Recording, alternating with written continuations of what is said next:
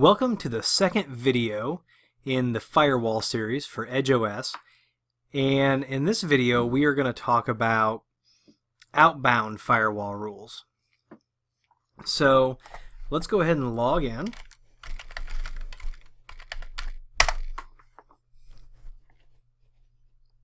We're going to go over to our firewall and you if you remember we've got the two default policies that are set up by our wizard. And the interfaces here are ETH0 direction in and ETH0 local. So what we're going to do is we're going to create a, an entirely new rule set that's going to deal with outbound traffic. So we're going to add a rule set and we're going to call this WAN out. And we'll call this description WAN out. Default action will be accept. So we'll save that. And you can see by default that when you create a rule set, it doesn't attach it to any interfaces or directions, and there's no rules. The only thing we have is the default action, which is accept. So we need to go in and configure this, attach it to an interface and a direction, and then create some rules. So we want to block outbound traffic on our WAN interface. So we're going to select ETH0 and it's going to be out. So we're dealing with sending traffic out towards the internet. Go ahead and save that.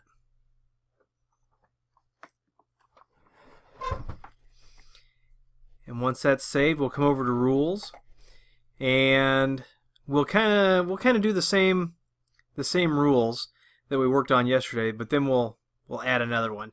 First, we'll bring up my website just to show that it's loading. So it's coming up.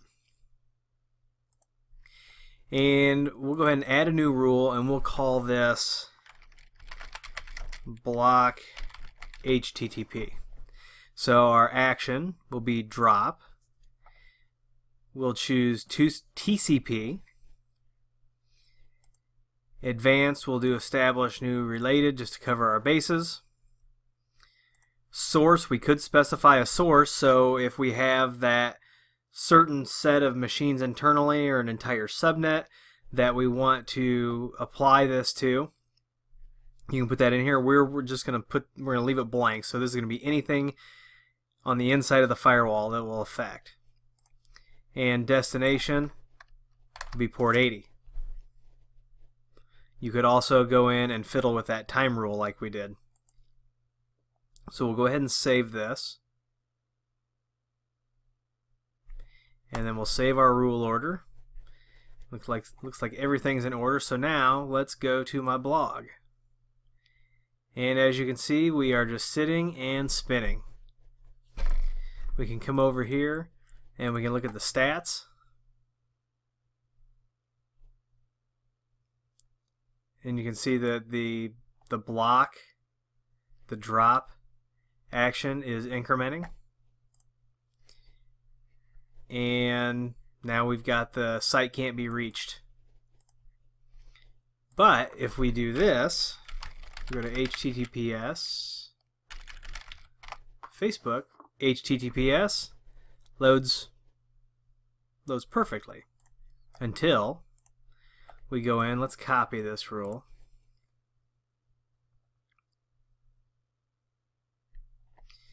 And then we'll edit it and we'll block HTTPS destination 443 we'll save that.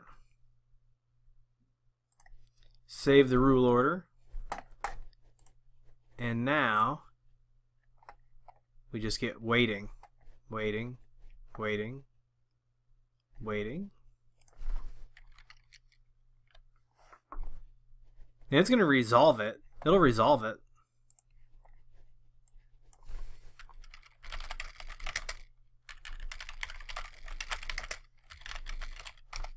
We're not blocking DNS.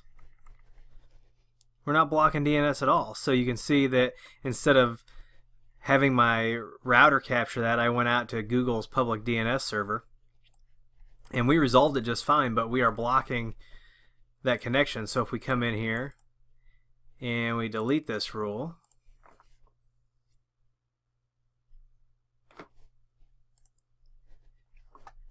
Come back over here.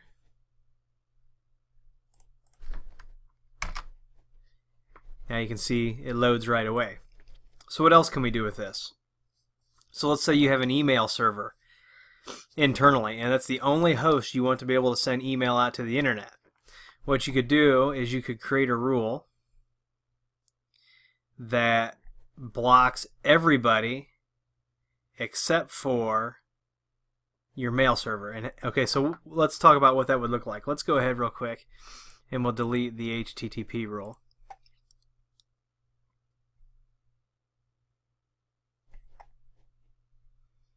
And and before we do this SMTP, let me show you that this is not a one a one trick pony because I am using uh, 80 and 443 in the videos, but here we're going to do some SSH traffic outside of this router. So we're going to go to another router in the lab. And now you can see we get a login prompt. Okay? So we'll log out of that. We'll create a rule. We'll call it block SSH. We're going to drop TCP destination 22. We'll save this rule.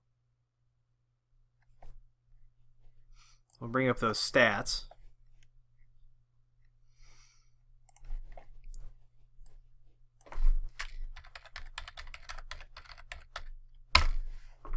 And look, the drop, the drop is incrementing and I'm not being prompted for my credentials.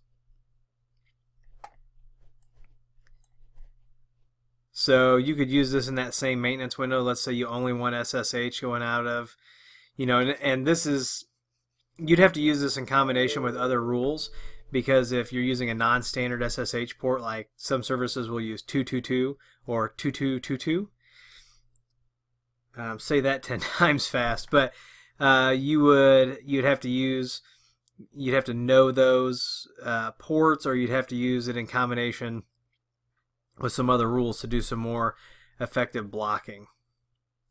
But now if we come in here and we delete this rule, that rule is now gone. Now you can see I am prompted with my credentials and I'm able to log in. So let's talk about how do we allow just a single you know machine to send that email out. So let's take a look at that. So the first thing we would do is we would say block SMTP all. And we're going to drop TCP destination 25 and we'll save that because 25 is your standard SMTP port if it's using uh, secure or SSL based SMTP. It's a different port. For this, we're just going to use port 25. So right now, we are blocking all of this, but we want to allow our email server to send out. So what we're going to do is we're going to allow SMTP SMTP mail server.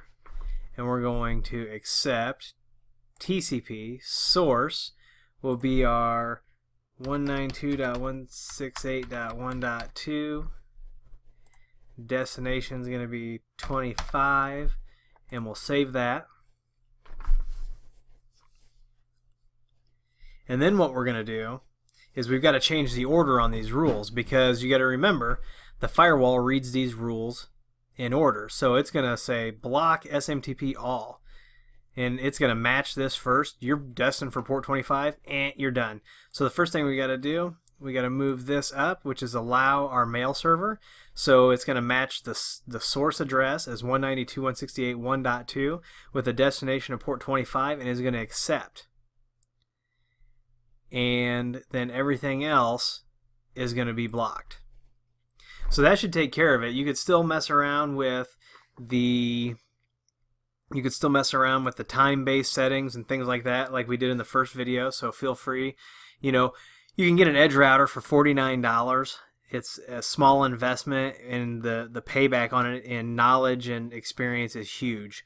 So you can check those out. You can get those from the distributors. You can order them directly from Ubiquiti. Um, so if you like the video, please give a thumbs up. Please subscribe. Please comment and share. And we will see you at the next video.